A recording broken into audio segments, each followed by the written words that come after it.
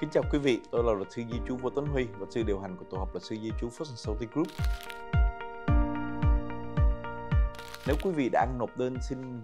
601, đơn 601 là đơn xin ân xá để cho những người đã bị một hình phạt gọi là cấm nhập cảnh. Nếu như Sở Di trú đã từ chối, có nghĩa là họ thấy cái sự khó khăn của những người thân nhân đó không đủ đến mức gọi là extreme hardship tức là khó khăn cực độ thì trong trường hợp này quý vị cần phải coi lại hồ sơ